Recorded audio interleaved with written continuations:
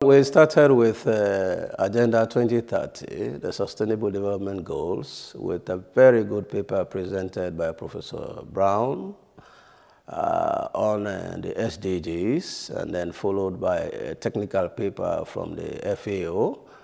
Uh, we also talked about uh, uh, climate change, AMR. Interestingly, I was uh, monitoring the number of contributions to each of these top, to all the topics, as well as, as well as the timing of speakers, the duration of speakers. And I will tell you that these three topics, number one, the SDG, the discussion on SDGs was the most popular. It had the highest number of participants, followed by climate change and AMR. Uh, in terms of timing of speakers, believe me, uh, the most, it was between one to eight minutes, but most was within three to five minutes. But we, of course, we had outliers, that, that is those who spoke beyond that three to five minutes range. Uh, about six of them spoke beyond. Uh, this is basically pointing to the fact that if we can manage time better, even what we have achieved in timing during this quarter can be improved upon.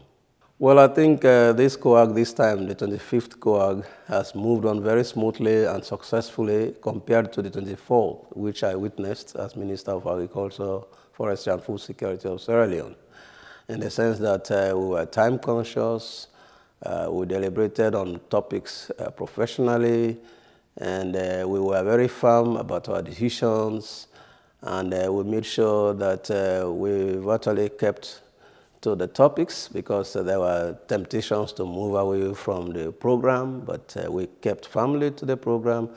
And that is why even yesterday we were able to conclude early enough for the drafting community to work. And uh, that is why uh, this morning, in fact, the draft uh, report is already being translated, unlike previous times when people work overnight and morning to prepare the draft report. That is an indicator of the progress we made during the, this COAG.